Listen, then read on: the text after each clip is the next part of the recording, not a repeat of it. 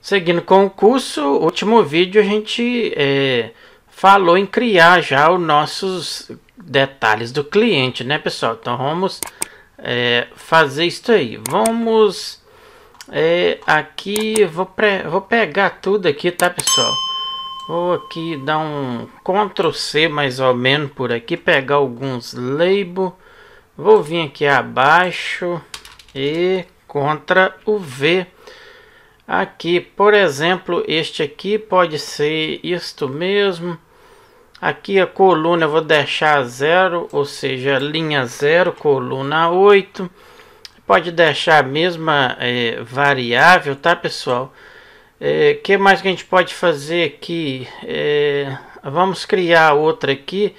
LBL, eu vou mudar isso aqui para 6, por exemplo. Ctrl C, Ctrl V vai ficar isto mesmo. Ele pode, podemos colocar o nome aqui é, de detalhes do cliente, por exemplo, né, pessoal? Então, detalhes, é, vamos pôr assim, ó, cliente só.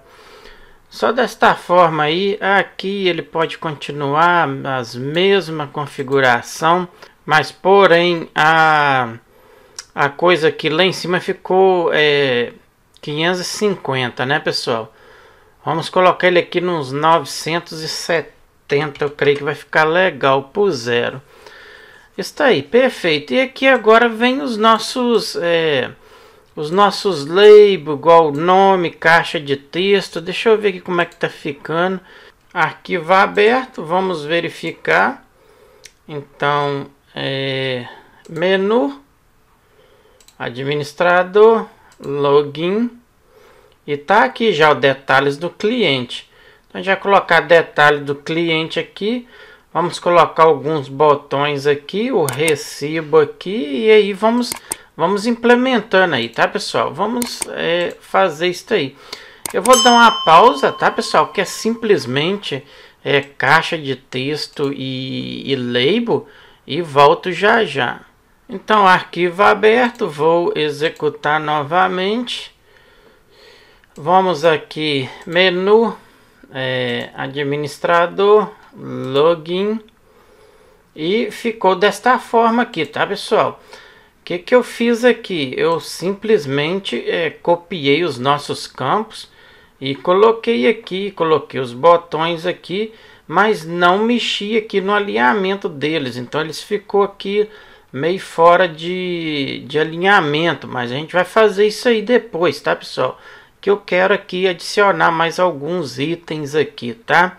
Então, por aqui afora, aqui para cá, para o lado esquerdo, vai ficar itens e aqui já detalhes é, do cliente, pagamento e o nosso recibo por aqui afora, tá?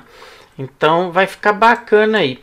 Vamos colocar aqui os outros itens aqui para a gente poder trabalhar essa tela com mais é, performance aqui, né? Deixá-la mais é, alinhada que os nossos objetos. Então, é, ficou desta forma aqui, tá pessoal? Tudo a mesma configuração de antes, tá? Só observe as variáveis, tá pessoal? Muito importante está aí, tá? As variáveis mudam, tá? É, eu vou abrir o arquivo que lá ele fica menor aqui, fica melhor para vocês visualizar isso aqui, tá? Então aqui ele fica menor aqui para vocês verem. Então vou pegar todo aqui o código, pessoal, vou passar o que a gente já fez até então. Então aqui a gente importa, a gente faz aqui o login, depois a gente tem aqui a função clear, que é para limpar os nossos campos, tem aqui o sobre, é, o administrador, depois vem aqui o registrar, tá pessoal?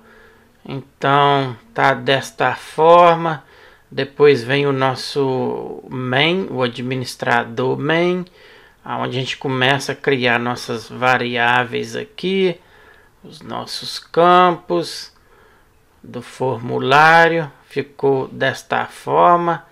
Dei uma pausa e confere aí se está tudo desta forma, que é o final.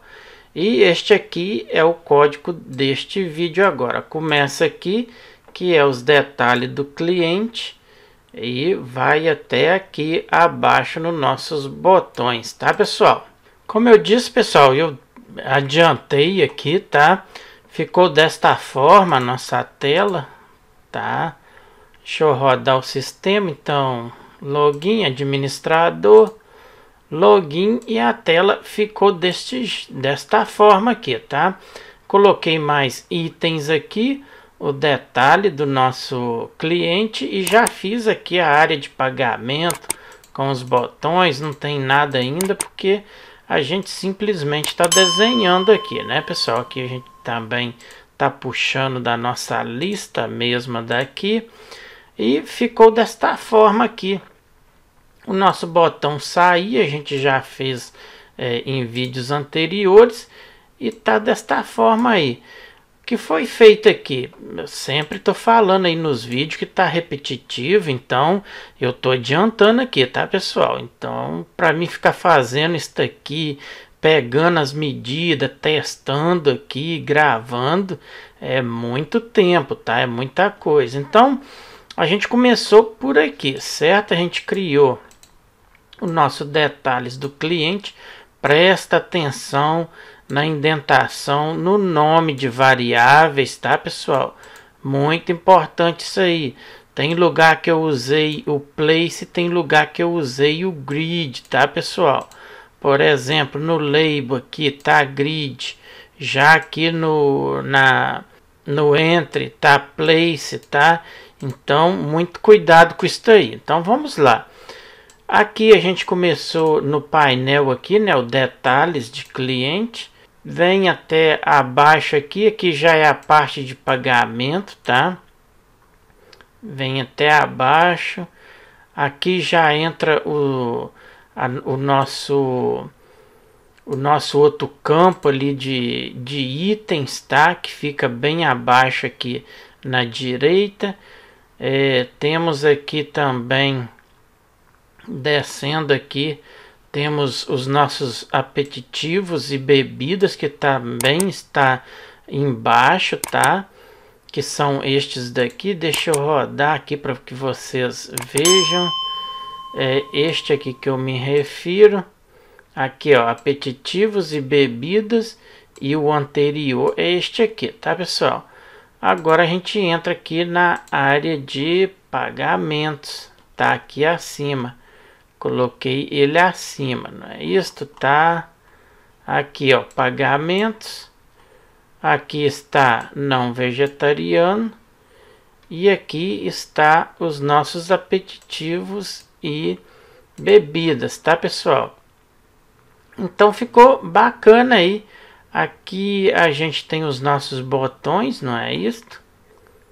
Pode olhar aqui, ó, pagar, cuidado com é, o place e grid. Tem o limpar, total, preço, tá bem, pessoal? Então, é basicamente isso aí, tá? Dei pausa, confere aí o seu código, vê se tá desta maneira. Tá bem? Basicamente está aí, tá pessoal? E finaliza aqui. Certo? Então eu vou terminar esse vídeo. Eu vou dar uma passada no código por inteiro aqui, pessoal. Para vocês darem uma, uma olhada, tá? Dá uma olhada aí. Ver se está desta forma, tá, pessoal? Então, dei a pause. E olha o código todo, tá pessoal?